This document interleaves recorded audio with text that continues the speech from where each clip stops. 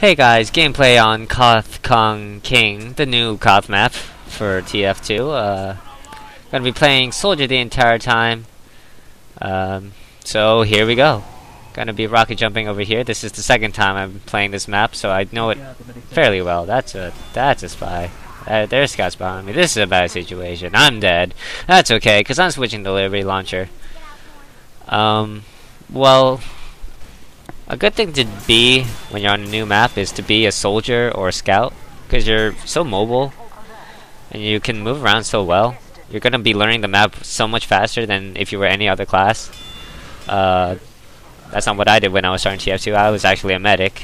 Uh, I was actually following people who actually knew the map, and I could stay safe.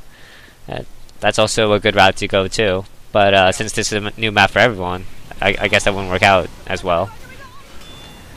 Uh, what I'm really going to be talking about during this gameplay is just Koth maps in general, uh, the ups and downs, uh, pretty much the ups of Koth uh, Kong King. Uh, I really like this map, or I've been enjoying it a lot so far. It definitely has a nice balance to it, uh, where it has a lot of ups of of other Koth maps, where some of them they have flaws. Like this part right here, where it's pretty open, where the point is. Uh, someplace like Lakeside, uh, kind of has this sort of thing. Uh, but towards the other parts, it has um, more narrow areas, more tight areas that aren't so open. Uh, it's kind of like some place like Nucleus, which is kind of pretty similar. Uh, but the problem is the Nucleus is almost entirely just a narrow area where there's not much room to run around. And same thing with Lakeside, uh, but on the opposite side, that it's just a one giant wide area. Uh, the good thing about Koth Kong King so far is that it has a nice balance of both. Where at this point in the middle is very wide, but towards the spawns it actually gets more narrow. Uh, and uh, underneath the uh, point is also more uh, narrow. Another thing I like about this map is that it's pretty big. Uh, small maps, it, it kind of induces uh, spawn camping. Some place like Nucleus, which is pretty small, and Harvest, which is an extremely small Koth map. Some place like this, or like Lakeside, it's it's nice and big. Like a team on Lakeside would have to really be spawn camping. Like they would have to be really far out, so that it's kind of obvious that they're spawn camping. Yeah. This this place too. It's uh really open. Uh, spawns are pretty far away from each other. Spawns are pretty far away from the point. Uh, so you, less spawn camping. That's that's a pretty good upside to this. Another thing that I like about this map is that there's obstacles. Just random obstacles here and there. Uh, what that really uh, helps me out with mainly is because of mini sentries. Mini sentries. Those are those ruin Koth maps, in my opinion. Uh, they can just aim anywhere, and it's really broken on some places like Koth Lakeside or Badlands, where just set one up there, and it can aim it at anywhere, pretty much. This place, it, it, it's got obstacles here and there. It's narrow and wide in different areas, so mini sentries won't be as effective. Sure, they'll still be annoying, but you know, not as annoying, and uh, that's always helpful. Uh, really like that about this since I hate mini sentries so much. Um, another great thing about this map, uh, flank routes. Plenty of flank routes. I really enjoy that. Uh, if you're playing Spy or Pyro, you kind of want to get behind people. Uh, same thing with Scout. You want to get behind people uh, instead of fighting just head on. Uh, and flank routes allow you to do that. It's not some place like Koth Viaduct, which is pretty much just one straight wall. Uh, and if an enemy team is right there, you kind of have to go completely past that. Uh, so that's good. Uh, flank routes, always important. The only problem I had with this map at first was that I couldn't find any health packs, and that's kind of annoying if you don't have any health packs. That means the team with the medic will obviously win because they actually have pretty much a constant health pack right there. Um, some place like Koth Viaduct doesn't really have that much. someplace like. Bad. Uh, no, Badlands does have quite a few health packs, if you know where they are. Someplace like Lakeside, where the health packs are pretty far away. Um, those are kind of places where medics are absolutely necessary. Um, and here, this is where I finally found where the health packs are. Uh, there's also the same kind of health pack on the mirror side of this, so I know that now. There's also smaller health packs. I don't think I've seen like a full medikit uh, anywhere, but uh, knowing where that was now, pretty much right now, uh, really fixed my problem with that. Uh, maybe medics won't be as the team with the medic won't be as overpowered. Sure, medics will still be important because medics are important in any map, but uh, still pretty good. And you can you can jump up there. That's uh that's crazy. And how did how did you know that? That's a great soldier spot. Uh, Moving on. Anyways,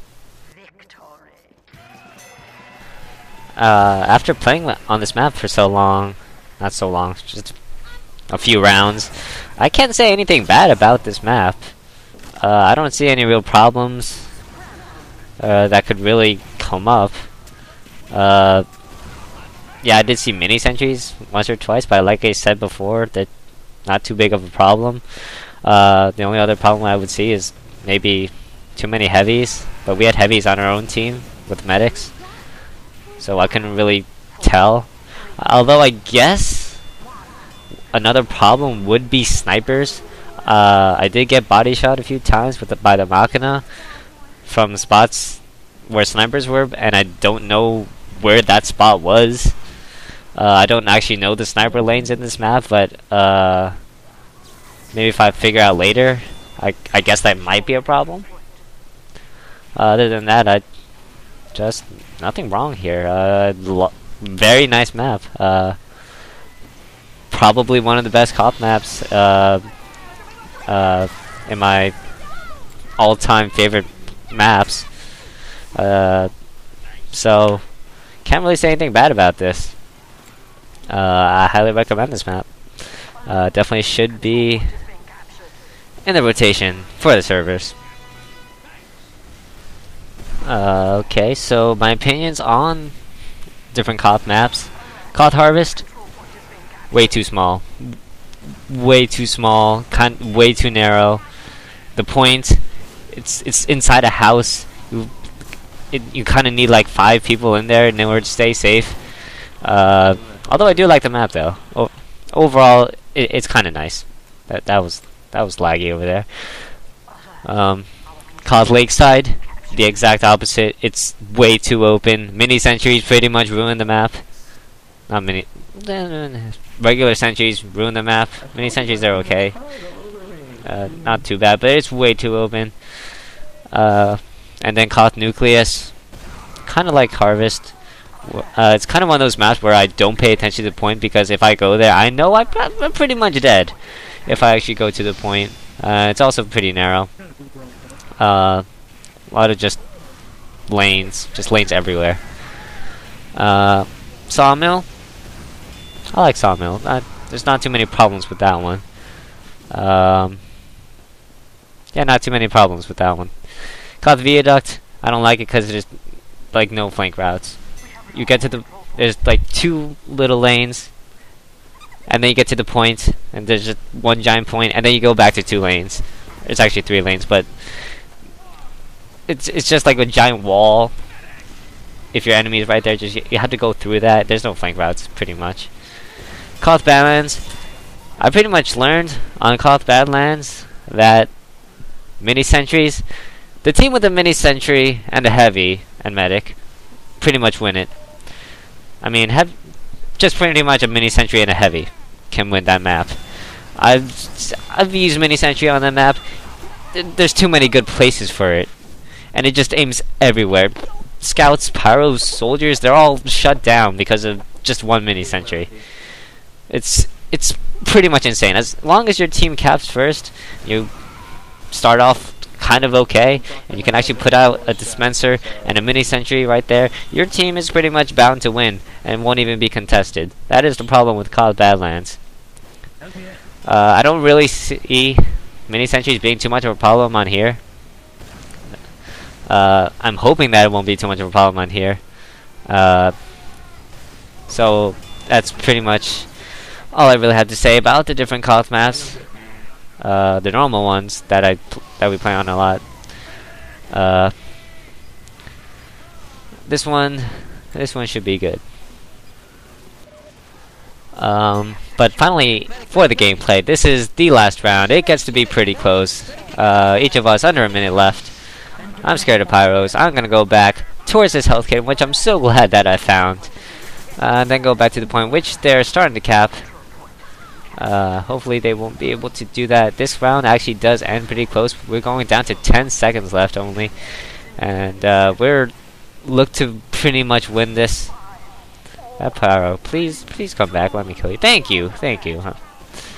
Unfortunately, it was Romana. Uh, oh god. They actually have a teleporter in there. If you could actually see the little blue magic things, I don't know what they are. And we get it down to zero, but they're causing it. They're causing overtime, and they actually get the points. Honestly. So that's disappointing. But hopefully we can get it back in 40 seconds. Going to go all the way back. I see pyros. No, actually that's our pyro. And I know they have like teleporters somewhere around here. So somewhere around here. There, I'm gonna find it. Teleporters, really good. That's all that really matters. Dispensers, not so much. Teleporters, a lot more. Uh, there's a mini sentry. Uh, I found it. Unfortunately, they have people teleporting in pretty quickly. Oh, it's overtime. Uh, we lose. I hope you guys enjoyed the video. Catch you guys later. We just witnessed a Christmas miracle.